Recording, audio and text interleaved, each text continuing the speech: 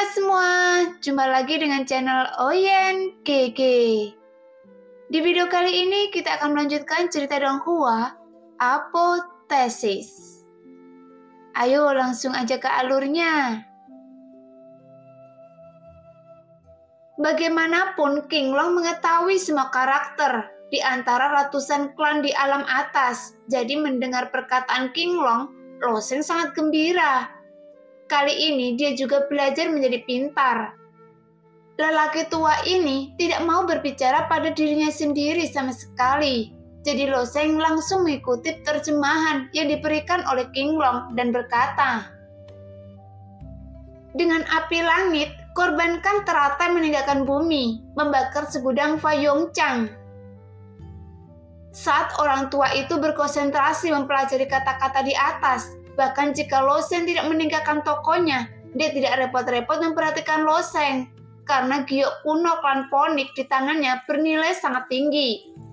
Selain nilai koleksi batu giok itu sendiri, yang paling penting adalah teks di atasnya. Dikatakan bahwa batu giok kuno klan Ponik diwarisi dari klan Ponik kuno. Jika seseorang dapat menguraikan kata-kata di dalamnya dan mendapatkan beberapa peluang, maka itu akan menjadi peluang besar. Tapi dia tak berdaya karena sangat sulit untuk menguraikan karakter klan Feng Ponik ini. Bahkan orang tua itu telah mempelajari karakter pada Gio klan Feng Ponik ini. Selama satu setengah tahun penuh, dia bahkan membandingkan beberapa buku kuno sebelum akhirnya menguraikannya beberapa kata. Tapi ketika dia mendengar loseng, menjatuhkan tas buku di depannya, dia mengerutkan kening dan hendak berteriak. Tetapi setelah mendengar beberapa kata, ekspresi tiba-tiba berubah. Karena kata-kata di mulut Loseng bertepatan dengan kata-kata kuno yang dia sedang uraikan di verifikasi karakter klan Ponik. Sehingga orang tua itu tidak bisa mengucapkan sepatah kata pun. Tetapi menatap mulut Loseng dengan ekspresi kaget. Mendengarkan dengan penuh perhatian. Akibatnya, Loseng berkata di tengah jalan. Belum lagi, hanya menatap lelaki tua itu dengan senyum tipis. Anak muda, bisakah Anda menyelesaikan sisa terjemahannya? Meskipun lelaki tua itu sudah mengerti bahwa kata-kata pada batu giok kuno ponik ini, tetapi dia tidak memiliki peluang dari arti dari kata-kata itu. Yang sepertinya adalah sepotong batu giok penguburan dan yang terukir di atasnya adalah bagian untuk mengenang kematiannya. Meskipun lelaki tua itu sudah mengerti bahwa tidak ada peluang untuk batu geoponik kuno ini, setelah mempelajarinya sekian lama, dia masih ingin memahami setiap makna yang diungkapkan dalam kata-kata di atas. Jika bisa diterjemahkan sepenuhnya, nilai dari batu gio ini akan menjadi sangat berharga nilainya juga akan meningkat pesat. Loseng tersenyum, menjual dan keluar. Karena bukan Loseng yang cemas sekarang, tapi orang tua itu. Karena Loseng bisa menerjemahkan teks pada batu gio itu setengah kata, tetapi dia tidak pergi. Bagaimana orang tua ini bisa menanggungnya? Jadi dia buru-buru juga bergegas keluar. Anak muda ini, anak muda ini, ada yang ingin kami katakan.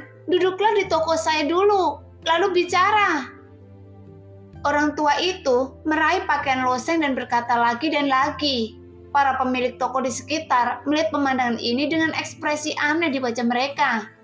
Mereka telah melakukan bisnis di pasar persegi ini sepanjang tahun, dan mereka sangat menyadari sifat aneh lelaki tua itu Lelaki tua itu memiliki sepasang mata yang tertuju pada di atas kepalanya. Sejak kapan dia begitu sopan kepada orang lain? Bahkan dia begitu banyak memohon pada seorang pemuda sekarang. Tapi Loseng memilih untuk pergi. Tentu saja dia tidak benar-benar pergi. Meskipun bahan-bahan yang terdaftar atas permintaan King Long dapat dibeli di kota Yunhai, tetapi karena bahan-bahan tersebut dapat dibeli di kota Yundian, jadi mengapa repot-repot? Pada akhirnya, Loseng kembali ke toko orang tua itu. Orang tua itu dengan penuh semangat membawakan kursi rotan ke Loseng membuat sebuah cita spiritual yang harum dan memberikannya kepada Loseng. Lalu berkata dengan penuh semangat, Anak muda ini, saya baru saja salah. Tolong Anda menerjemahkan paruh kedua dari tulisan pada batu gio ini kepadaku. Jelas situasi lelaki tua itu sekarang sepertinya seperti menebak teka-teki. Setelah menebak lebih dari setahun, tetapi Loseng berlari untuk memberitahu dari jawaban teka-teki itu. Tetapi hasilnya hanya setengahnya. Dan perasaan ini yang paling menyedihkan, seolah-olah hati lelaki tua itu seperti cakar kucing padanya.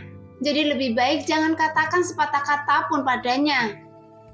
Loseng dengan tergesa-gesa mengambil secangkir teh spiritual dan menyesapnya, lalu berkata, sudah kubilang tidak apa-apa, tapi ada syaratnya.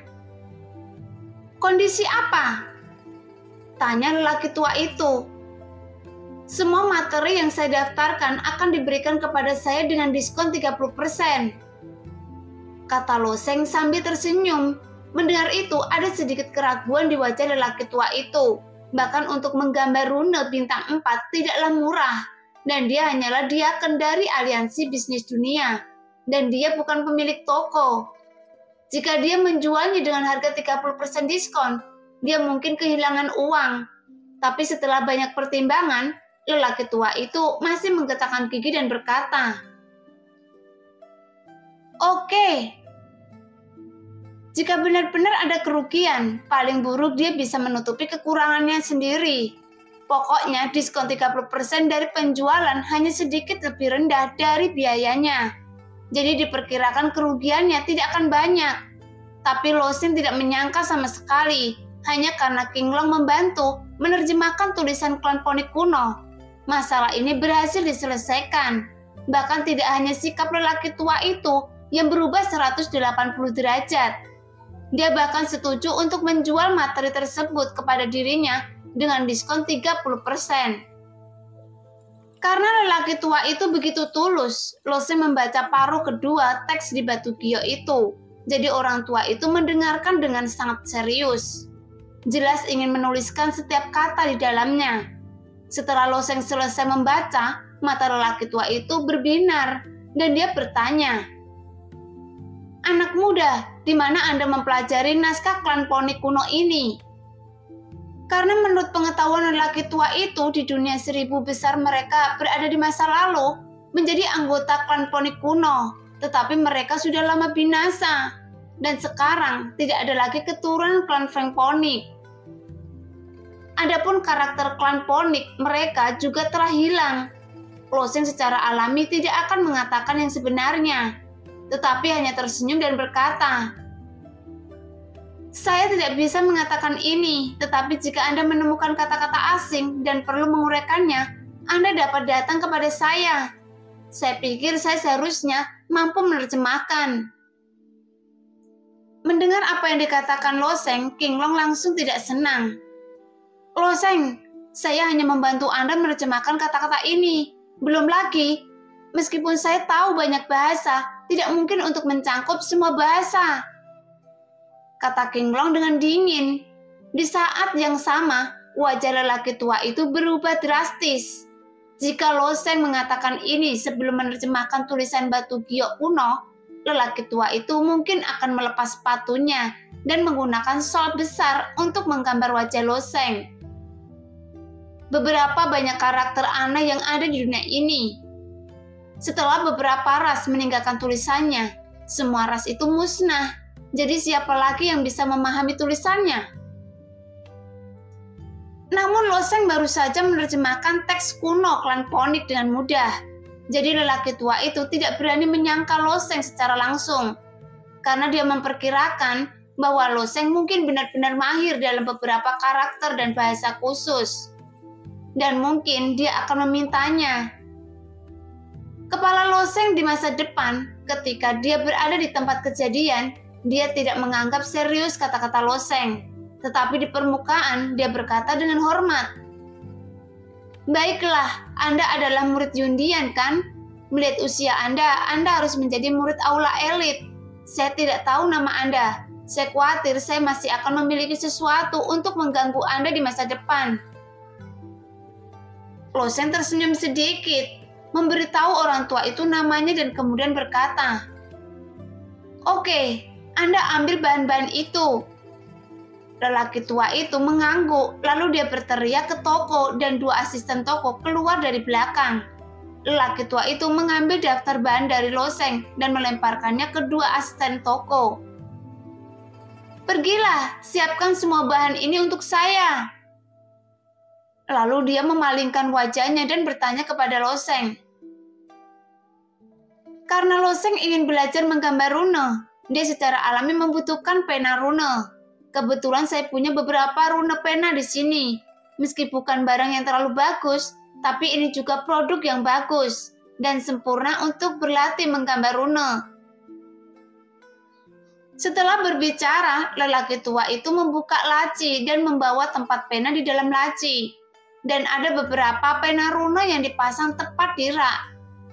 Model pena rune ini berbeda-beda dan bahannya juga berbeda. Ada badan pena yang terbuat dari batu giok dan tempat pena yang terbuat dari tulang binatang. Jika Anda seorang pemula, saya merekomendasikan yang ini, kata lelaki tua itu. Pena rune ini terbuat dari penyambung dan pengikatan batu giok yang rusak. Saat menggambar rune, kekuatan jiwa dapat menembus dari celah batu giok yang rusak ke ujung pena, sehingga akan lebih mudah digunakan. Mendengar kata-kata lelaki tua itu, pikiran Losing bergerak. Lagi pula dia seorang pemula. Jika dia menggunakan pena rune yang lebih ringan, menggambar rune relatif lebih mudah. Saat Loseng hendak mengambil keputusan, dia mendengar King Long dalam benaknya dan berkata, Jangan pilih yang ini, pilih yang di sebelahnya. Mata Loseng bergerak dan dia mendarat di sebelah pena rune ini. Namun pena rune terbuat dari logam, jadi Loseng bertanya, Bagaimana dengan pena rune ini? Loseng, Anda benar-benar tahu cara memilih. Saya tidak menyarankan Anda menggunakan pena rune ini karena pena rune ini terbuat dari emas hitam merah. Jadi tiga kali lebih berat daripada pena rune biasa. Jadi sangat sulit untuk menahan tekanan jiwa jika ingin menggunakannya. Jadi saya tidak menyarankan Anda untuk membeli ini. Kata lelaki tua itu sambil tersenyum. Apakah Master Rune Senior akan memilih pena rune ini? Mendengar itu, Losen juga ragu-ragu, tetapi Kinglong kemudian berkata, Untuk kamu menggambar rune, fungsi lainnya adalah untuk melatih jiwa Anda. Jadi apa gunanya memilih pena rune yang terbuat dari batu giok yang rusak? Dengarkan saya, beli saja yang ini, karena saya adalah guru rune Anda. Mendengar itu, Loseng hanya bisa memilih pena rune logam ini, meskipun lelaki tua itu tidak setuju. Dengan penggunaan pena rune yang terbuat dari logam oleh Loseng, dia tidak akan menyinggung Loseng. Namun setelah mengambil pena rune ini dari lelaki tua itu, Loseng tiba-tiba terasa berat di tangannya. Meskipun berat, ini tidak berarti apa-apa bagi Loseng. Pengaruh menggambar rune masih besar. Lagi pula, setiap rune sangat tepat. Jika pena rune tidak stabil, sebuah rune dapat dihancurkan dengan gesekan ringan. Setelah beberapa saat, kedua asisten toko juga memilah bahan-bahannya karena menggambar pola rune paling dasar. Bahan-bahan ini jarang, tetapi tidak terlalu sulit ditemukan. Setelah menghitung bahannya, Loseng bertanya, "Berapa harga bahan-bahan ini?" Loseng berkata, "Total ada 800 batu esensi sejati kelas menengah. Jika Anda memberi Anda diskon 30%, itu akan menjadi 560 batu esensi sejati kelas menengah. 560 batu esensi sejati kelas menengah. Meskipun harganya masih dalam harga kisaran toleransi loseng, dia masih tidak bisa menahan diri untuk tidak mengeluh bahwa itu sangat mahal. Loseng sudah memiliki pemahaman umum tentang mata uang di wilayah tengah mata uang paling dasar, mereka adalah mata batu esensi sejati tingkat rendah.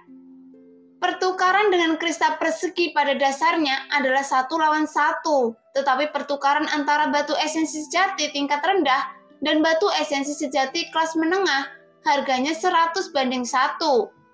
Dengan kata lain, 560 batu esensi sejati kelas menengah bernilai sekitar 56.000 kristal kubik. Bisakah saya membayar dengan kristal persegi? Tanya Loseng. Sebelum meninggalkan wilayah timur, Loseng menyerahkan sebagian esensi Tianyan kepada Zhang Wuxian dan mengambil banyak kristal persegi untuk cadangan. Kristal kubik? Orang tua itu sedikit terkejut. Dia menduga Loseng mungkin adalah murid dari keluarga besar atau bahkan keturunan dari seorang tetua di Yundian. Tetapi mendengar kristal kubik setara dengan menggulingkan tebakannya sebelumnya karena kristal kubik adalah mata uang di wilayah timur. Artinya, Loseng seharusnya lahir di tempat kecil di wilayah timur. Bukan karena mata uang di tempat kecil itu tidak bisa diedarkan, tapi sering kali diubah menjadi batu esensi sejati dengan harga diskon. Jadi orang tua itu berkata, Kristal kubik juga bisa diterima tapi satu kristal kubik hanya bisa ditukar dengan setengah batu esensi sejati bermutu rendah. Mendengar kata-kata lelaki tua itu, Loseng langsung tertekan. Artinya, dia harus menghabiskan 110 ribu kristal persegi untuk membeli kumpulan bahan ini, yang membuat wajah Loseng gelap. Orang tua itu tertawa dan berkata, tidak mungkin Anda bisa pergi dan mencari tahu mata uang wilayah timur benar-benar tidak berharga di wilayah tengah kita. Untungnya, Lose memiliki banyak batu kristal cadangan. Dan pada akhirnya dia tidak mempedulikannya dengan lelaki tua itu. Jelas dia berpikir bahwa lain kali lelaki tua itu meminta bantuan lagi. Dia akan membayarnya. Setelah mengirimkan 100 ribu kristal kubik kepada lelaki tua itu, Loseng meninggalkan pasar dengan bahan-bahan yang dibeli. Dan lelaki tua itu memandang Loseng dengan tatapan yang rumit dan mendesa dalam hatinya bahwa dia benar-benar anak yang aneh. Tetapi memang benar buang-buang bahan-bahan ini. Bagaimanapun, 100 ribu batu esensi sejati bermutu rendah bukanlah jumlah yang kecil yang menunjukkan anak muda saat ini benar-benar tidak dapat diprediksi. Setelah kembali ke kediamannya, Loseng mulai bersiap menggambar pola dewa. Bahan-bahan ini tidak dapat digunakan ketika dibawa kembali. Menggambar pola ilahi pada awalnya adalah pekerjaan teknis. Meskipun Loseng tidak tahu apa-apa, tapi bagaimanapun juga King Long adalah gurunya Menurut instruksi King Long, Losen terus memproses bahan-bahan itu. Misalnya, rumput kudus spiritual perlu digiling menjadi bubuk halus. Contoh lainnya adalah rimpang, rumput hayin yang perlu dipotong, kemudian dihaluskan dan dicampur dengan abu awan jenis lain. Butuh waktu setengah jam penuh hanya untuk mengerjakannya, karena pengaturan di dalamnya tidak boleh ada kesalahan. Jika ada kesalahan harus dibuang dan dibuat kembali. Setelah setengah jam, materi akhirnya siap. Segera Lose mengulurkan tangan dan memegang pena runa di tangannya, lalu mengambil nafas dalam-dalam. Meskipun King Long menunjuk ke samping, Loseng masih sedikit gugup saat menggambar rune ilahi untuk pertama kalinya. Dia mengangkat pena rune, menutup matanya dan bermeditasi sebentar jiwa kuning muda muncul dari sela-sela alisnya, tapi berbeda dengan menggunakan duri mengejutkan. Karena jiwa duri mengejutkan berubah menjadi duri untuk menyerang lawan, jadi kecepatannya sangat cepat dan kejam. Kali ini memasukkan kekuatan jiwa ke ujung pena untuk menggambar pola ilahi. Tentu saja, semakin lambat semakin baik. Ketika jiwa Lusin dituangkan ke dalam pena runa, ujung pena keluar dari baris pertama di atas kertas. Tahap pola ilahi pertama, seperti yang dikatakan King Long, adalah disebut pola dewa meditasi yang berhubungan dengan runa meditasi. Setelah runa semacam ini digambar, biasanya ditempatkan di ruang budidaya atau bahkan di beberapa pembakar dupa untuk merangsang efek runa ini yang dapat membuat orang memasuki kondisi meditasi dengan cepat. Bagaimanapun, prajurit perlu banyak berkonsentrasi saat mereka berlatih, atau saat alkemis menyempurnakan alkimia, bahkan saat menyempurnakan senjata. Menurut King Long, ini adalah pola dewa bintang satu yang paling dasar dan tidak sulit untuk digambar. Apa yang disebut King Long tidak terlalu sulit, mungkin ditunjukkan pada apa yang dia katakan. Ketika Loseng mengeluarkan baris pertama di kertas, dia melihat bahwa garis itu adalah sepotong abu-abu yang sepertinya merupakan campuran bahan dan tidak ada efek satu sama lain. Hei, pukulan pertama tidak ada gunanya, kata King Long sambil tersenyum. Loseng mengerutkan bibirnya dan dia tidak berniat untuk berhasil dengan pukulan pertama. Menurut catatan dalam garis besar pola dewa yang diajarkan oleh King Long kepada dirinya, setelah kekuatan jiwa dimasukkan ke dalamnya, itu adalah diperlukan persepsi yang sangat halus untuk membedakan bahan-bahan yang ada di dalam tinta. Susunlah bahan-bahan tersebut menurut aturan tertentu. Yang tergambar bukanlah garis abu-abu, melainkan garis yang menyembul dengan berbagai cahaya. Mengganti selembar kertas, memegang pena rune di tangannya, dan menyeduhkan sebentar. Meskipun ia mampu mengubah jiwa menjadi duri dan mencapai keadaan ekstasi, namun dia tidak begitu pandai dalam persepsi halus. Lagi pula, untuk melakukan duri mengejutkan, hanya perlu menusuk jiwa lawan secara ekstensif tidak banyak persyaratan untuk persepsi halus, dan Loseng tidak memiliki latihan di bidang ini.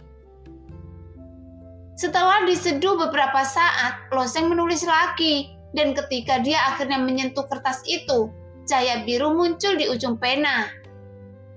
Selesai. Loseng bersemangat dalam hatinya. Dia hanya menarik ujung pena kurang dari satu inci jauhnya, dan kecemerlangan cahaya biru menghilang seketika. Paruh pertama dari pukulan ini masih mekar dengan cahaya biru, tetapi paruh kedua adalah abu-abu lagi. Hei! Benar saja, naga hijau di benaknya kembali mengecek tanpa ampun. Losen tertekan dan berkata kepada King Long, Anda bisa mencobanya. Biarkan saya menggambar pola bintang. King Long menunjukkan ekspresi menghina di wajahnya, jelas meminta King Long untuk menggambar pola bintang, hanya bertentangan dengan penghinaan besar. Faktanya, yang paling dibanggakan oleh naga hijau ini bukanlah kekuatannya, karena di antara sembilan naga asli di tungku misterius, kekuatannya berada di peringkat terbawah. Dan yang paling bisa dia lakukan adalah menggambar pola ilahi, Bahkan formasi Duncan Zenlong yang menjaga klan naga mereka diatur oleh naga hijau ini. Ini setara dengan meminta koki papan atas memasak semangkok bubur, jadi itu merupakan penghinaan baginya. Namun, karena King Long berjanji untuk mengajari Loseng menggambar pola ilahi, ia pasti akan melakukan demonstrasi yang diperlukan. Tapi King Long tidak memiliki tubuh, tetapi dapat melepaskan kekuatan jiwa. King Long berkata, Angkat pena rune Anda. Setelah Loseng mengangkat pena rune, jiwa yang sangat kecil keluar. Ini hanyalah avatar kecil dalam jiwa besar King Long. Sepertinya King Long kecil yang sangat kecil ini jatuh ke dalam pena Loseng dalam sekejap, dan kemudian Loseng mendengar King Long berkata, Baiklah, Anda bisa menulis. Lose memegang pena rune di tangannya dan dengan lembut menariknya ke atas kertas dan garis lurus yang bersinar dengan cahaya biru terang muncul di kertas. Garis ini penuh dan bulat, tampaknya membawa karakteristik material tersebut ke dalam permainan penuh. Setelah menggambar garis, Loseng berhenti, menatap kosong ke garis tipis yang bersinar dengan cahaya biru terang tanpa mengucapkan sepatah kata pun. Hei, Nah, bagaimana kabar Anda? King Long tersenyum tipis dalam benaknya. Sangat kuat. Loseng menghela nafas. Ini tidak bisa dihindari, tapi kamu tidak perlu khawatir. Faktanya saya tidak memberitahu Anda bahwa Anda sudah menguasai triknya setelah pukulan kedua. Beberapa master rune dengan bakat yang lebih sedikit membutuhkan beberapa bulan atau bahkan setengah tahun latihan untuk dapat melakukannya. Tiba-tiba ejekan King Long adalah sarkasme, namun nyatanya dia masih terkejut dengan kecepatan Loseng di dalam hatinya. Seolah menggambar pola dewa adalah kemampuan alaminya. Setengah tahun karena jarak antara garis yang ditarik oleh King Long dan garisnya sendiri terlalu besar, Loseng masih sedikit frustasi. Mendengar ini, dia tampaknya tidak buruk. Begitulah keadaan orang-orang. Seringkali semakin baik mereka pada sesuatu, semakin baik mereka tunjukkan minat yang besar. Memikirkan hal ini, sebuah busur muncul di sudut mulut Loseng, dan setelah mengulurkan tangan untuk mengganti selembar kertas, pena runa di tangannya jatuh ke atas kertas lagi. Kemudian jiwa bernuansa dan persepsi material paling halus. Karena ada empat jenis material dalam tinta ini, di antaranya yang lebih tebal adalah akar kudu spiritual dan rumput hanyin sangat halus. Rerumputan yang rindang ditaruh di lapisan bawah sebagai penopang, dan hanya dengan cara inilah efek akar kudu spiritual dapat diberikan. Bahannya sendiri berwarna biru dan cahaya yang ditarik oleh hijau naga tadi juga bersinar biru. Pola ilahi ini harus fokus pada akar kutu yang kuat, yang primer dan sekunder jelas. Tulis. Jiwa Loseng telah dituangkan ke ujung pena pada saat ini. Kapan? Setelah menggambar pola meditasi pertama, Loseng tidak berhenti Pembelian bahan-bahan tersebut awalnya dimaksudkan untuk digunakan untuk latihan tangan, sehingga total disiapkan sekitar 10 bahan. Karena ada begitu banyak bahan yang tersisa, Losen secara alami tidak akan menyanyiakannya. Jadi dia memegang pena rune di tangannya dan mulai menggambar pola dewa meditasi berikutnya. Namun bagi seorang master rune tidak dapat menggambar rune setiap saat, karena dalam proses menggambar, kekuatan jiwa terus-menerus dikonsumsi. Ketika kekuatan jiwa dikonsumsi sampai batas tertentu, orang akan merasa lelah, mengantuk, sehingga kesulitan berkonsentrasi. Tapi dengan kekuatan jiwa Loseng saat ini, dia telah mencapai puncak menggambar tujuh atau delapan pola dewa. Ketika dia baru saja selesai menggambar pola dewa ke-8 dan hendak mulai menggambar pola dewa ke-9, dia tiba-tiba merasa tidak nyaman dan kepalanya seperti meledak. Sehingga dia tidak dapat berkonsentrasi. Dan pada saat yang sama ketika Penaruna dibelai dengan ringan, pukulan ini salah. Jelas dia tidak boleh ada gambar rune yang ceroboh. Selama ada sedikit kesalahan, seluruh rune akan dihapus. Ini pertama kalinya menggambar pola ilahi, jadi jangan mengkonsumsi terlalu banyak kekuatan jiwa.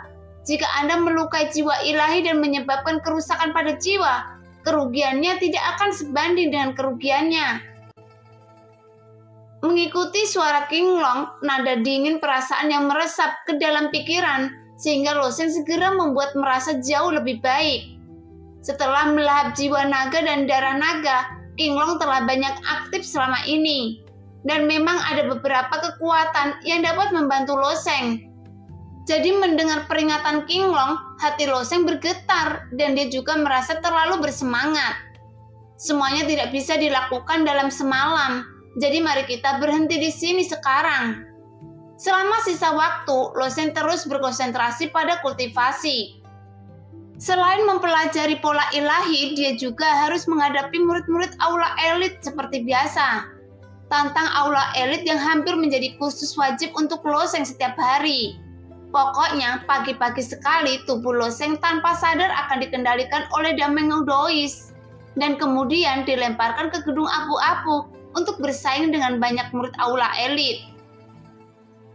Untuk mengalahkan murid-murid aula elit, Loseng juga melakukan segala kemungkinan. Pada awalnya Loseng mampu mengatasi kekuatan tubuh tirani dan di sisi naganya, karena semakin banyak orang yang ditantang oleh Loseng, mereka juga mulai memiliki target penindasan terhadap Loseng. Pada akhirnya, Loseng harus menggunakan duri mengejutkan dan bahkan membiarkan roh pedang Yoye bermain, yang membuat banyak murid dari aula elit juga terkejut saat mengetahui bahwa Loseng hampir sama ulet seperti kecoa. Setiap saat kekuatan para murid yang bermain akan lebih kuat dari yang sebelumnya, tapi Loseng selalu punya cara untuk mengalahkan mereka. Murid terakhir dari aula elit yang berpartisipasi dalam pertempuran hari ini bernama Muran, yang berada di alam Dewa Penerangan tingkat 6. Meskipun Muran tidak terlalu kuat di Dewa Pencerah tingkat 6, masih ada kesenjangan besar untuk setiap level budidaya di alam Dewa Penerangan. Pada akhirnya, Muran masih kalah dari Loseng. Setelah menghadapi tiga pertempuran hari ini, Loseng pergi dan bergegas ke alun-alun kota Yundian. Bagaimanapun, dia menghabiskan banyak uang untuk membeli bahan kemarin dan menggambar pola dewa. Tetapi hari ini dia ingin pergi ke pasar untuk mencari tahu apakah pola dewa dapat dijual untuk mendapatkan uang. Dalam perjalanan ke kota Yundian, Loseng masih sedikit gugup. Lagi pula para dewa meditasi ini murni latihan pena Loseng. Tetapi kemarin Loseng sangat membantu orang tua dari aliansi bisnis dunia. Bahkan jika Loseng ingin menjual, dia harus bayar harganya. Saya khawatir dia tidak akan diusir lagi kan? Pada saat ini, Jodie di istana es sedikit tidak puas saat ini. Dia sedikit mengernyit, menatap Loseng disingui. Ya, mengapa dia ingin menggambar dan belajar menggambar rune? Tidak ada cukup waktu untuk berlatih. Mengapa dia harus fokus pada ini? Yodie sangat tidak puas. Alasan mengapa dia mengolah loseng adalah karena ada rencana di dalam hatinya. Hanya saja budidaya loseng saat ini terlalu rendah. Sangat rendah sehingga dia tidak bisa melihatnya sama sekali. Jadi dia akan menggunakan murid-murid aula elit untuk bergantian mengasah loseng. Dia bahkan tidak punya waktu untuk berlatih dan dia menyanyiakan usahanya pada teknik rune. Dari sudut pandang Jodie, Loseng hanya membuang-buang waktu. Lagi pula seni rune terlalu luas dan mendalam. Banyak master rune dan master are sihir telah menghabiskan hampir seumur hidup kerja keras untuk mencapai kesuksesan. Tapi Loseng tidak memiliki dasar untuk rune sebelumnya. Tapi niat sementara untuk belajar seperti ini karena menggambar rune lebih mudah diucapkan daripada dilakukan. Dameng Dois berkata sambil tersenyum. Master Istana, tidak ada salahnya anak muda mencoba hal baru. Jika dia menemui kesulitan dengan teknik rune, dia secara alami akan menyerah dan menyerah. Tidak perlu khawatir tentang apa pun. Tidak, kata Yodie, alisnya yang tipis terangkat Waktu hampir habis, Loseng harus masuk ke alam dewa penerangan, jadi tidak ada gunanya untuk mempraktekkan teknik peruna apa pun. Saya pikir dia harus menghindarinya. Mendengar kata-kata Jodie, Dameng Dois menghela nafas dalam hati, berpikir bahwa Tuan Istana seharusnya paling mengkhawatirkan dirinya sendiri, bukan? Sutra hati sembilan surga dari guru istana telah mencapai surga terakhir, dan ini adalah cara yang tepat untuk meningkatkan kultivasinya dengan cepat. Tidak peduli seberapa berbakatnya Loseng, dia hanya seorang junior. Tapi Dameng Dois hanya berpikir begitu dalam hatinya. Dan dia tidak berani berbicara langsung karena sifat keras kepala istana sudah dikenal di seluruh Jundian dan mungkin sangat sulit untuk mengubah pikirannya setelah Zodie selesai berbicara, dia membakar jimat transmisi suara. Zhong Rui, datanglah pada saya untuk bertemu saya di sini. Zhong Rui, Dameng Doi tertegun sejenak dan bertanya dengan wajah aneh.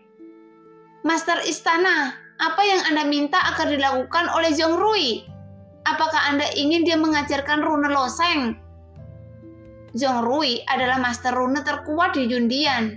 Kali ini Zodie memperoleh formasi pelindung sekte di Jalan Pelatih. Dan sekarang dia akan memberikannya kepada Zhong Rui untuk direnungkan. Formasi pelindung sekte dari peringkat ke-6 sekte, betapa rumitnya. Dibutuhkan banyak tenaga dan sumber daya material untuk mengatur sejumlah besar penjaga ini. tetapi memikirkan tentang kekuatan susunan penjaga sekte peringkat 6, jika bisa diatur, Yundian mungkin bisa mampu menahan serangan dari kekuatan apa pun di wilayah tengah. Dari sudut pandang ini, akan hemat biaya jika menghabiskan banyak upaya untuk mengatur sejumlah besar penjaga ini.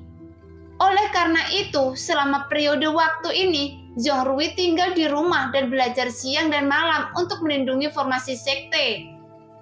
Pada saat ini, Rui mendengar panggilan Tuan Istana dan segera berubah menjadi aliran cahaya, dan dengan cepat datang ke Istana Es, kemudian membungkuk kepada Jodie. Saya menemui Tuan Istana. Jodie mengangguk sedikit lalu bertanya, Rui, bagaimana perkembangan pelajaran tentang susunan penjaga? Saya melapor Tuan Istana. Saya sedang mengevaluasi biaya susunan penjaga dan bahan-bahan yang dibutuhkan. Tapi saya khawatir perlu waktu untuk menghitungnya sepenuhnya. Kata Rui. Baiklah, saya punya satu hal lagi yang harus dilakukan Anda hari ini. Tolong, kata Jodie. Dameng Dois memandang tuannya bertanya-tanya. Apakah benar tuan benar-benar bermaksud membiarkan Jong Rui mengajarkan teknik runa loseng? Dia berpikir begitu ketika dia mendengar Jodie berkata, ada yang salah, anak kecil yang mandiri. Jika Anda ingin berlatih seni runa, pergilah dan beri dia pukulan. Yang terbaik adalah menghancurkan kepercayaan dirinya dan membuatnya menyerah. Mendengar kata-kata Jodie, Dameng Dois hampir jatuh ke tanah. Dia tidak menyangka Jodie akan memanggil Zhurui ke sini untuk hal semacam ini. Tapi semua bawahan tunduk padanya. Pikir Dameng Dois tak berdaya. Sebaliknya, John Rui sepertinya ada sedikit ketertarikan di wajahnya ketika dia mendengar ini. Saya tidak tahu siapa pria kecil yang dibicarakan oleh Tuan Istana berapa banyak rune bintang yang bisa digambarnya. Namanya Loseng. Adapun seni rune, dia seharusnya baru saja mulai belajar. Jodie mengerucutkan bibirnya. Jong Rui terkekeh. Ternyata itu adalah murid yang mengaku menantang seluruh aula elit. Saya mengerti. Saya berjanji untuk menghancurkan kepercayaan diri si kecil ini, sehingga dia tidak akan pernah menyentuh benda ini seumur hidupnya. Sekarang dia dalam perjalanan ke Fangxi. Anda bisa pergi ke sana sekarang. Jodie mengangguk. Keterampilan Runo Rui tidak perlu dipertanyakan lagi. Jika tidak, Zodie tidak akan memberinya susunan penjaga. Setelah menerima perintah Zodie, Rui terbang keluar dari istana es sepanjang jalan dan langsung menuju Fangxi dalam garis lurus sepanjang jalan. Tapi Zhong Rui memikirkan bagaimana menyelesaikan tugas yang diberikan oleh kepala istana. Dengan prestasi Zhong Rui dalam seni runa, terlalu mudah untuk menyerang kepercayaan diri seseorang magang pemula. Dia bahkan memiliki kepercayaan diri untuk membiarkan Loseng tidak pernah menyentuh runa dalam hidupnya. Setelah beberapa saat, Zhong Rui datang ke Fangxi pada saat ini, Loseng kebetulan berjalan ke ujung fungsi dan memasuki toko aliansi bisnis dunia. Alam bawaan tingkat keempat, bawaan, itu seharusnya dia. Yong Rui mengangguk karena di antara para murid di seluruh aula elit tidak banyak makhluk bawaan dan hanya Loseng yang merupakan alam bawaan ke tingkat keempat bawaan. Memikirkan hal ini, Zhong Rui juga berjalan menuju toko orang tua di toko aliansi bisnis dunia saat ini sedang memegang pena tinta, menulis kata-kata di batu giok kuno. Dia dengan tegas mengingat proto kuno para dewa kuno yang diuraikan Loseng dan menulisnya kata demi kata ke dalam bahasanya. Pada saat ini, Loseng tiba-tiba datang ke pintu yang mengejutkan lelaki tua itu, tetapi dia juga sangat sopan. Loseng, saya tidak tahu apa yang harus saya lakukan ketika saya datang ke pintu hari ini. Beberapa bahan yang Anda butuhkan. Jika Loseng benar-benar ingin mempelajari seni runo, materi kemarin seharusnya cukup bagi Loseng untuk mendukungnya untuk sementara waktu. Sebelum Lo Seng dapat berbicara, sebuah suara tiba-tiba datang dari luar pintu. Sang tua, sudah lama tidak bertemu. Bagaimana kabar bisnisnya? Orang tua dari aliansi bisnis dunia bernama Sang Le, karena dia telah melakukan bisnis di kota Yundian sepanjang tahun. Dan Yong Rui, sebagai master rune paling terkenal di Yundian, sering berkunjung ke sini dan keduanya cukup akrab satu sama lain. Mendengar bahwa itu adalah Zhong Rui, senyuman muncul di wajah Sang Le. Faktanya, lelaki tua itu tidak memiliki temperamen buruk terhadap semua orang. Jika tidak, dia tidak akan bisa menjadi diakan aliansi bisnis dunia. Seperti Zhong Rui pelanggannya, Sang Li tidak akan pernah menyinggung perasaannya. Bisnis ini sangat ringan. Saya tidak mengharapkan Anda untuk lebih menggurui, kata Sang Li sambil terkekeh dan buru-buru memanggil orang-orang untuk membuat teh. Begitu Sung Rui memasuki pintu, matanya tertuju pada Loseng dan dia sedikit tersenyum. Ini adalah ini adalah murid dari Yundian Aula Elit Anda. Baru-baru ini dia ingin berlatih seni rune. Sang Li tersenyum menatap Loseng dan berkata, ini adalah master rune terkuat di Yundian Anda, Loseng. Jika Anda benar-benar ingin mempelajari seni rune, alangkah baiknya meminta nasihatnya. Oke deh kakak, sampai di sini dulu video kali ini. Sampai jumpa di video selanjutnya. Bye-bye.